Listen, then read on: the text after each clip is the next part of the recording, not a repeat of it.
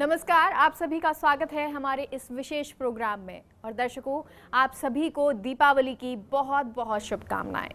और मैं हूँ आपके साथ मेघा कौशिक।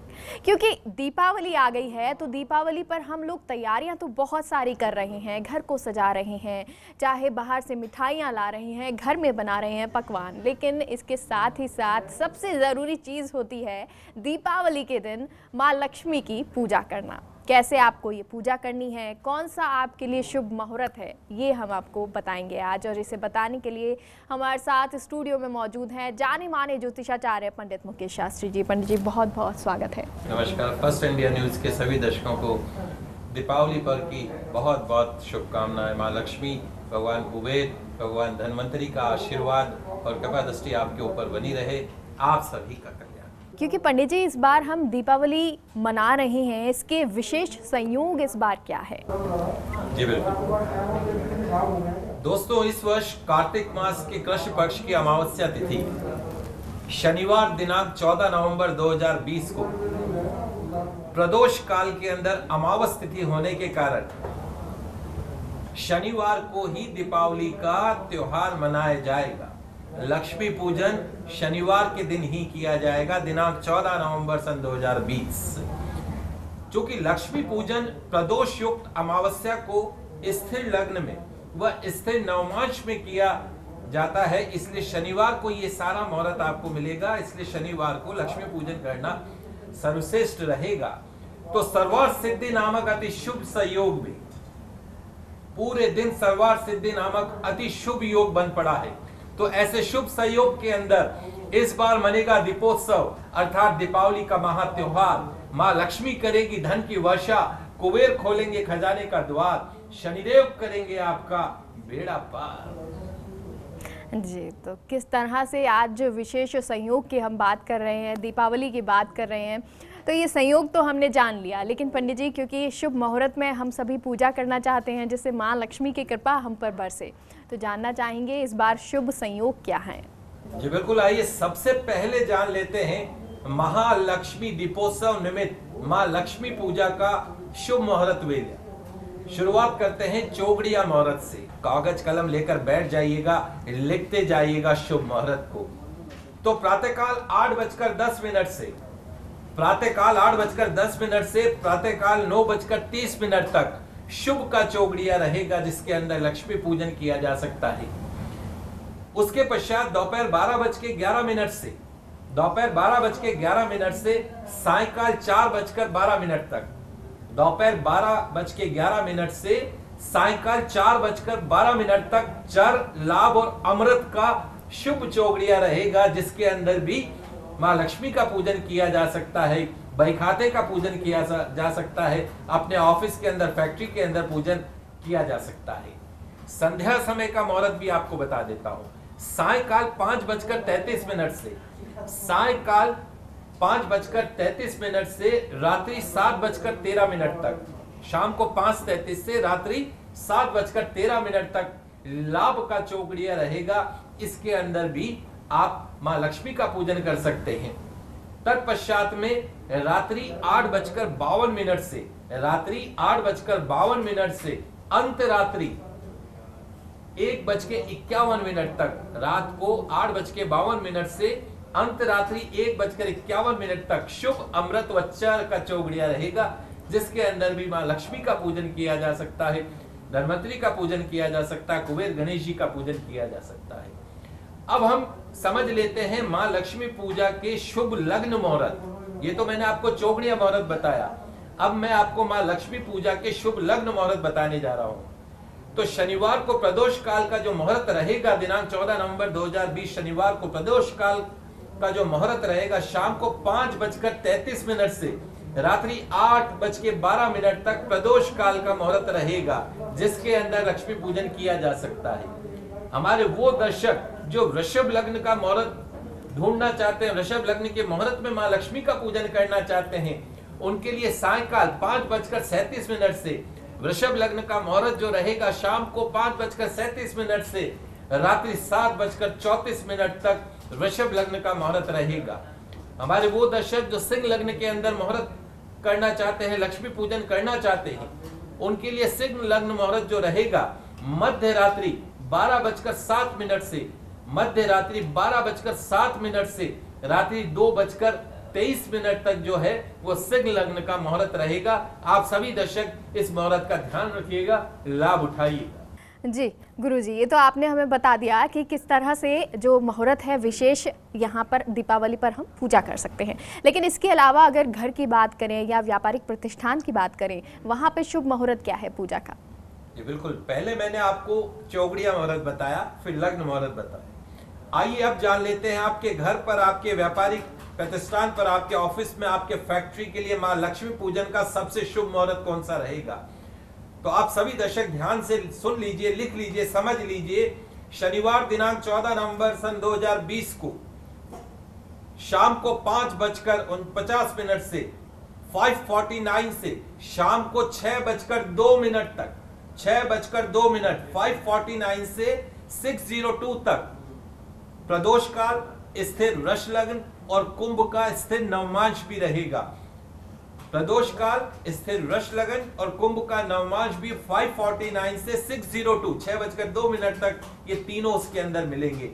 ये लक्ष्मी पूजन का सर्वश्रेष्ठ मुहूर्त रहेगा। आप सभी दर्शक ध्यान रखिएगा।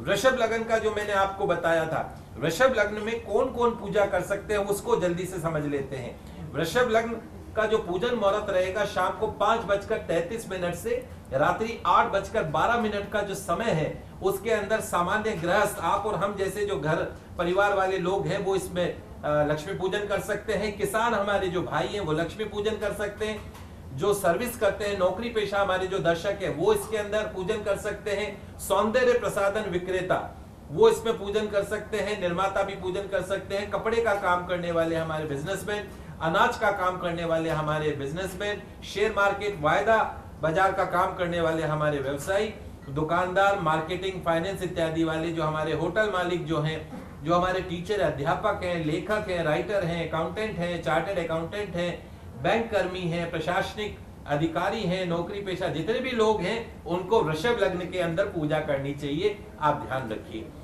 अब सिंह लग्न। जो मैंने आपको पहले बताया था, सिंह लग्न रात्रि मध्य रात्रि में बारह बजकर सात मिनट से रात्रि दो बजकर तेईस मिनट तक, उसमें किस किस को पूजा करनी चाहिए?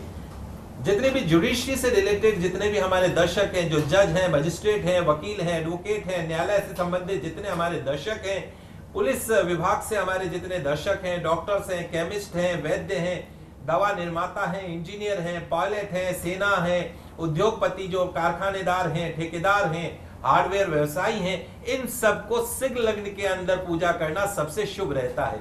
तो इन शुभ लग्नों में किया गया कोई भी शुभ कार्य स्थायी होता है। आप सभी दर्शक फ़र्स्ट इंडिया न्यूज़ के इस दर्शक जो है हमारे, इस समय का शुभ मुहूर्त का लाभ उठाए जी। तो पंडित जी, आपने ये तो हमें बताया कि अलग अलग लोगों के लिए सबसे अच्छा मुहूर्त क्या है, शुभ मुहूर्त क्या है। लेकिन सर्वश्रेष्ठ मुहूर्त की बात करें, जिसमें सब लोग पूजा कर सकते हैं, वो मुहूर्त एक बार फिर से जानना चाहेंगे। जी बिल्कुल, आइए पुनः एक बार आप सभी दर्शकों की सुविधा के लिए आज महालक्ष्मी पूजन का सर्वश्रेष्ठ समय क्या रहेगा, वो मैं आपको बता देता हूँ। तो इस बार दिनांक 14 नवंबर सन 2020 को दुर्लभ संयोगों के अंदर शनिवार दीपोत्सव मनाया जाएगा, दीपावली का महापर्व मनाया जाएगा। और माँ लक्ष्मी पूजन का सर्वश्रेष्ठ मुहूर्त क्या रहेगा उसको समझ लेते हैं। शाम को संध्या काल में, सायकाल पाँच बजकर उनपचास मिनट से, यानी 549 से शाम का जो समय रहेगा 5:49 से शाम को छह बज के दो मिनट तक। शाम को 5:49 से छह बजकर दो मिनट तक का जो समय रहेगा, वो सर्वश्रेष्ठ समय रहेगा क्योंकि 5:49 से 6:02 तक आपको प्रदोष काल भी मिलेगा, स्थिर वृषभ लगन भी मिलेगा और साथ में कुंभ का स्थिर नवमांश भी आपको इसमें मिलेगा।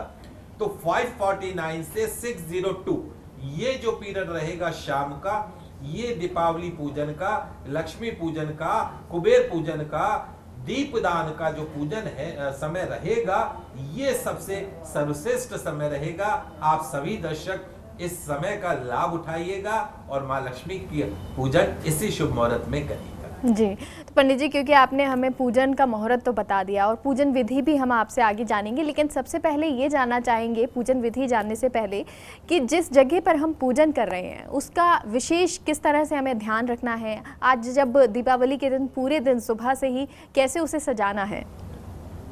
देखिए, चूँकि दीपावली का त्योहार है, माँ लक्ष्मी आज आपके घर, व्यापार, बिज़नेस के अंदर प्रवेश करने वाली है तो घर का जो प्रवेश द्वार है वो प्रवेश द्वार बड़ा साफ़ सुथरा होना चाहिए, सुंदर होना चाहिए। आज जो है बांदरवार ज़रूर लगाइएगा, तोरण अवश्य बांधिएगा, आम के पत्ते मिल जाए या अशोक के पत्ते मिल जाए, उसकी तोरण बना के और घर के मुख्य द्वार पे अवश्य लगाइएगा सात्या स्वस्तिक अवश्य मांडिएगा और उसके साथ साथ में संभव हो तो रंगोली भी आज के दिन ज़रूर बनाइएगा। दीपदान तो संध्या समय में करना ही है। आपके घर का जो पूजन स्थान है, उस पूजन स्थान को अच्छे से स्वच्छ करके गंगा जल का छिड़काव करके, तत्पश्चात में आपको सभी सपरिवार जन ही आज आपको लक्ष्मी पूजन करना है। इस बात का ध्यान रखिए। जी तो लक्ष्मी पूजन के लिए क्या विशेष ध्यान आपको रखना है? क्या मुहूर्त है? ये हमने आपको बताया, लेकिन पूजन विधि क्या है, ये हम आपको बताएँगे। लेकिन यहाँ रुकते हैं, एक छोटे से ब्रेक के लिए, कहीं मत जाइएगा।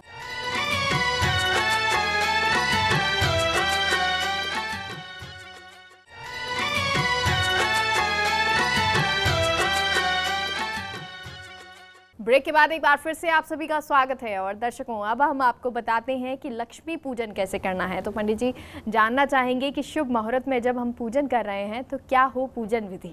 जी बिल्कुल, आइए समझ लेते हैं दीपोत्सव पर माँ लक्ष्मी पूजन की सबसे सरल विधि जो आप घर के अंदर कर सकते हैं। अपने व्यापार में पंडित अगर उपलब्ध नहीं भी है तो आप स्वयं कर सकते हैं।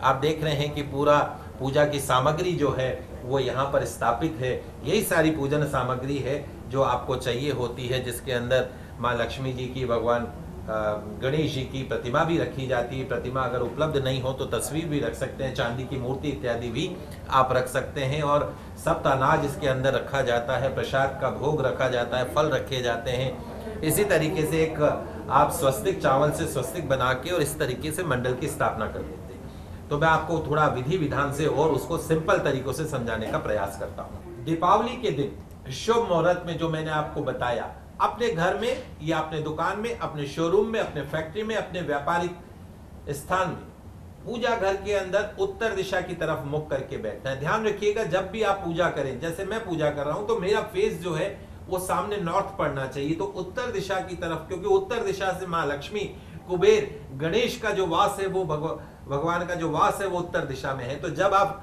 पूजा करें तो आपका फेस उत्तर दिशा की तरफ़ होना चाहिए। तो अपने पूजा स्थल पर उत्तर दिशा की तरफ़ मुख करके बैठ जाइए। पूजन के लिए दिन के समय ध्यान रखिएगा। जब अगर आप दिन के अंदर चौगड़िया जो मुहूर्त मैंने दिन में बताया, तब उस वक्त तो आपको पूर्व दिशा की तरफ़ मुख करना है। और रात में संध्या के पश्चात में आप पूजा कर रहे हैं तो उत्तर दिशा की तरफ़ मुख करना इस बात का ध्यान रखिएगा। दोपहर के समय पूजा कर रहे हैं तो पूर्व दिशा और संध्या समय में कर रहे हैं तो उत्तर दिशा में। तो उत्तर दिशा की तरफ़ मुख करके आप बैठ जाइएगा। एक गर्म कपड़े से बने उन्हीं आसन के ऊपर अपना स्थान ग्रहण कर लीजिएगा, आचमन कीजिएगा। आचमन के लिए आप पान के पत्तों में जल से भर के और आप इस तरीके से आचमन कर सकते हैं। इस तरीके से छीटे दे के आप आचमन कर सकते हैं, प्राणायाम कर सकते हैं और अपने सम्मुख एक चौकी, जैसे हमने चौकी की स्थापना कर रखी, एक चौकी अथवा बाजोट की आप स्थापना कर लीजिए। इस तरह आप बाजोट की स्थापना कर सकते हैं चौकी। उस पर लाल वस्त्र बिछा के लाल वस्त्र बिछा के केसर से उस पर स्वस्तिक का चिन्ह बना सकते हैं। हल्दी पाउडर से रंगे पीले चावलों से। चावल के अंदर थोड़ा हल्दी पाउडर रंग के या तो उसे स्वस्तिक बना लीजिए, जैसे हमने स्वस्तिक बना रखा है। यदि आप चाहें तो अष्टदल भी बना सकते हैं या आप स्वस्तिक भी बना सकते हैं। तो चावलों से स्वस्तिक बनाकर उस पर भगवान गणेश जी की भगवान गणेश जी की सोने या चांदी की प्रतिमा या मनमोहक चित्र अगर प्रतिमा नहीं है तो मनमोहक चित्र की भी आप स्थापना कर सकते हैं।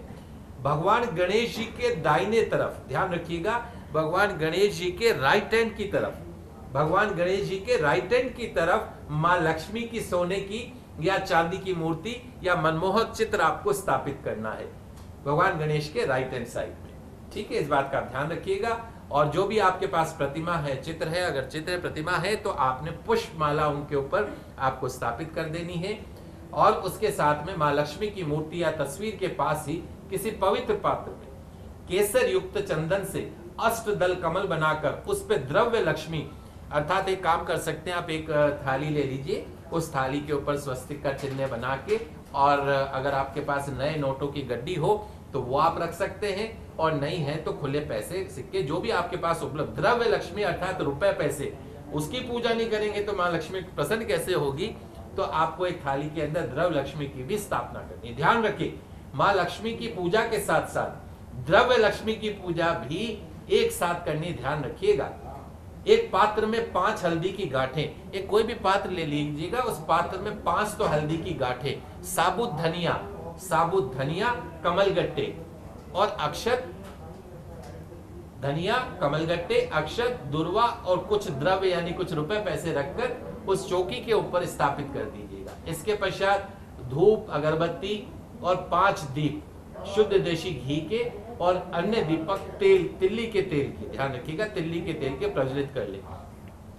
जल से भरा कलश, जल से भरा कलश भी आपको चौकी पर स्थापना रखना है। कलश के ऊपर मोली बांधकर रोली से उसके ऊपर स्वस्तिक बना सकते हैं, स्वस्तिक बना सकते हैं उसके ऊपर और या केसर से स्वस्तिक बना सकते हैं। तत्पश्चात भगवान श्री गणेश जी की और फिर उसके बाद माँ लक्ष्मी जी को आप तिलक करेंगे, छीटा डाल के उनको तिलक करेंगे, पुष्प अर्पण करेंगे। यदि प्रतिमा है तो आप गंगा जल इत्यादि से, पंचामत इत्यादि से प्रतिमा को स्नान करवा सकते हैं। तत्पश्चात हाथ में पुष्प अक्षत, सुपारी या एक दोने के अंदर जल भर लीजिए। उसमें अक्षत, पुष्प, सुपारी, सिक्का और जल लेकर सबसे पहले भगवान गणेश जी की, माँ लक्ष्मी की, कुबेर देव देव की और सभी आवाहित देवी देवताओं का पूजा का संकल्प करना है। उनका आह्वान करना है कि, हे गणेश जी महाराज आपकी मैं पूजा कर रहा हूँ, आप आइए विराजिए रिद्धि सिद्धि समेत आइए विराजिए माँ संतोषी माता देखिए माँ संतोषी का भी आह्वान करना ज़रूरी माँ लक्ष्मी के साथ साथ में। तो आप आइए विराजिए। नव ग्रह की हमको पूजा करनी होती है, षोडश मात्रका की हमको पूजा करनी होती है। तो इन सभी देवताओं का आह्वान करना पड़ता है। आह्वान करके उसके पश्चात उनकी पूजन अर्चन की जाती है। तो माँ लक्ष्मी की, भगवान गणेश जी का आह्वान करके उनकी प्रतिमा की प्रतिष्ठा कर उसका षोडश उपचार पूजन करें। पूजन के पश्चात नवग्रह पूजन अवश्य कीजिए। षोडश मात्रका का पूजन अवश्य कीजिए। कलश का पूजन अवश्य कीजिए। और प्रधान पूजा में माँ लक्ष्मी का। प्रधान पूजा में माँ लक्ष्मी का पूजन करना है। धूप, दीप, उनको निवेद अर्पण करना है।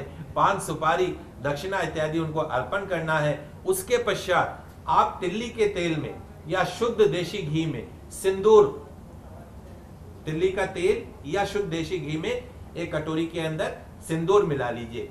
सिंदूर मिलाने के पश्चात सबसे पहले आपके घर का या आपके ऑफ़िस का या आपके शोरूम का जो मेन डोर है मुख्य द्वार की जो डेली होती है अपने, जो व्यापार स्थल के बाद, वहाँ सबसे पहले पूजा करनी है। तो अपने घर के मुख्य द्वार पर या अपने व्यापार स्थल पर जो डेली होती है, डेली के ऊपर जो है, उसकी पूजा करनी है। और उस पूजा से पहले जो है, भगवान गणेश जी का ध्यान करते हुए अपने मुख्य द्वार के दोनों तरफ़ स्वस्तिक का चिन्ह बना सकते हैं। अपने फैक्ट्री ऑफ़िस के मुख्य द्वार पर दोनों तरफ़ स्वस्तिक का चिन्ह बना सकते हैं, शुभ, लाभ इत्यादि लिख सकते हैं।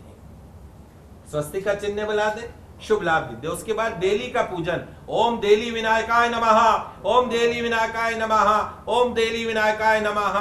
तो अपना जो भूमि होता है, पृथ्वी जो डेली बोलते हैं उसको, उसकी पूजन करनी है। थोड़ा सा अक्षत उसके ऊपर डाल दीजिए, कंकु डाल दीजिए, पुष्प इत्यादि से देली विनायकाय नमः, ओम देली विनायकाय नमः, इस मंत्र से पूजन कीजिए। तत्पश्चात में आप शाही, युक्त दवात की अभी हमारे पास यहाँ उपलब्ध नहीं है, लेकिन आप एक दवात ज़रूर लेके आइएगा। उस दवात का पूजन करना है, उसके साथ साथ में जब आप पूजन करेंगे, दवात का पूजन करेंगे, शाही वाली जो दवात है, उसका पूजन करेंगे तो उससे पहले उस दवात पे केसर से स्वस्तिक का चिन्ह बना देंगे, मोली बाँध देंगे, ओम श्री महाकाली नमः, ओम श्री महाकाली नमः, ओम श्री महाकाली नमः, मंत्र, गंध, पुष्पादि से दवात की पूजन करेंगे, उसके पश्चात में लेखनी पूजन करेंगे, अर्थात कलम का पूजन करेंगे, उसके ऊपर भी मोली बांधकर पेन इत्यादि पे मोली बांधकर, ओम लेखनी स्थायी देव्य नमः, ओम लेखनी स्थायी देव्य नमः, ओम लेखनी स्थायी देव्य नमः, इस मंत्र से कलम के हम पूजन करेंगे। तो इस प्रकार हमने पहले शाही का पूजन किया, फिर कलम का पूजन किया। अब आप अपने बई खाते की, अगर आपके पास में कोई डायरी है जिसमें आप लिखते हैं तो बई खाते की आपको पूजन करना है। उसमें भी केसर से बही खाते के ऊपर आपको स्वस्तिक का चिन्ह बनाना है। ओम श्री सरस्वती नमः, ओम श्री सरस्वती नमः, ओम श्री सरस्वती नमः। इस मंत्र से, गंध पुष्पादि से हमको बही खाते की पूजन करनी है। उसके पश्चात हमारे घर की जो तिजोरी है, हमारे ऑफ़िस का जो कैश काउंटर है, शोरूम का जो कैश काउंटर है, तिजोरी है, उसकी पूजा करनी है। तिजोरी पे भी केसर से स्वस्तिक का चिन्ह बनाना है। उसके ऊपर मोली अक्षत, गंध, पुष्पादि से उसका पूजन करना है। भगवान कुबेर का आह्वान करना है। ओम कुबेराय नमः, ओम कुबेराय नमः, ओम कुबेराय नमः। इस मंत्र से, गंध, पुष्पादि से हमारी तिजोरी की कैश काउंटर की, जहाँ हम रुपए पैसे रखते हैं, उसकी पूजन करना है। नैवेद्य के रूप में, प्रसाद के रूप में नैवेद्य अर्पण करना है। पूजा में रखी जो पाँच हल्दी जो मैंने आपको बताई थी, साबुत धनिया जो मैंने आपको बताया कमल गत्ता जो मैंने आपको बताया, पूजा के पश्चात में, लक्ष्मी पूजन के पश्चात में तिजोरी के अंदर रख देना है। इसी प्रकार यदि आप दुकानदार हैं तो गंध पुष्पादि से तुला का, यानी तराजू का पूजन करें। उसके पश्चात में दीप मालिकाएँ जो आपको घर में दीपक सजाने हैं, लगाने हैं, उनका पूजन करना है। उसके लिए किसी थाली के अंदर, किसी भी थाली के अंदर ग्यारह, इक्कीस, इक्यावन दीपों को प्रज्वलित कर लीजिए। माँ लक्ष्मी के समीप रखकर दीप ज्योति का ओम श्री दीपावली नमः, ओम श्री दीपावली नमः, ओम श्री दीपावली नमः। इस मंत्र से, गंधादि उपचारों से दीपक का पूजन करना है। दीप मालिकाओं का पूजन करके अपने आचार के अनुसार, अपने रीति रिवाज के अनुसार संतरा, ईख, यानी गन्ना, पानी फल, धान का यानी लाख इत्यादि अर्पण करना है, धान का लावा, खील इत्यादि भगवान श्री गणेश जी को, माँ लक्ष्मी को, कुबेर देवताओं को, अन्य सभी देवी देवताओं को भोग अर्पण करना है, लड्डुओं का भोग लगाना है, उसके साथ में जो बर्फ़ी का भोग लगाना है, इस प्रकार आप जो है भोग लगाएँगे, फलों का भोग लगाएँगे। ध्यान रखिए, सिंगाड़े के फल लक्ष्मी पूजन में बहुत महत्वपूर्ण है, सीताफल बहुत महत्वपूर्ण है, अनार माँ लक्ष्मी को बहुत प्रसन्न है।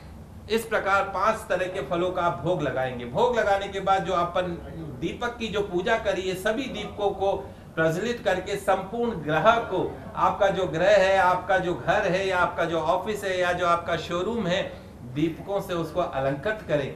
अब आप भगवान श्री गणेश जी की, माँ लक्ष्मी की और भगवान जगदीश्वर की आरती करनी है, परिवार समेत। सह परिवार समेत आरती करनी है, उसके बाद अपनी मनोकामना का ध्यान करते हुए, अपनी दरिद्रता को दूर करने की प्रार्थना करते हुए, माँ लक्ष्मी को, भगवान कुबेर को, गणेश जी महाराज को पुष्पांजलि करें।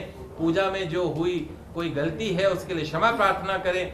अपने धन में वृद्धि की, अन्न में वृद्धि की, वंश में वृद्धि की, सुख, ऐश्वर्य में वृद्धि की मंगल कामना करें। पूजन के अंत में हाथ में अक्षत लेकर, जो है नूतन गणेश और माँ लक्ष्मी की प्रतिमा को छोड़कर अन्य जो हमने जितने भी नवग्रह आवाहित किए थे षोडश मात्र का आवाहित किए थे उन सभी देवताओं को प्रतिष्ठित एवं पूजित हम्म। देवताओं को अक्षत छोड़ते हुए विसर्जित करें। ध्यान रखिए दीपावली की रात को मंदिर तुलसी माता पीपल आदि के पास दीपक जलाना सभी संकटों से मुक्ति दिलाता है। माँ लक्ष्मी पूजा में तिल का तेल का उपयोग श्रेष्ठ रहता है। अभाव में आप सरसों के तेल का भी इस्तेमाल कर सकते जी तो पंडित जी, आपने ये पूजन विधि बताई, उम्मीद हम सभी दर्शकों से करते हैं, आप सभी ने ये पूजन विधि नोट कर ली होगी और जैसे जैसे पंडित जी आपको बता रहे हैं, वैसे अब आप दीपावली पर माँ लक्ष्मी की पूजा करेंगे। बहुत बहुत शुक्रिया पंडित जी जानकारी के लिए। फ़र्स्ट इंडिया न्यूज़ के सभी दर्शकों को पुनः एक बार दीपोत्सव की, माँ लक्ष्मी पौर की हार्दिक शुभकामनाएँ। आपके घर में अन्न का भंडार बना रहे, धर का भंडार बना रहे, आप सभी का कल्याण। तो फ़िलहाल के लिए हमारे इस खास शो में इतना ही। आप सभी को दीपावली के एक बार फिर से बहुत बहुत शुभकामनाएँ। नमस्कार।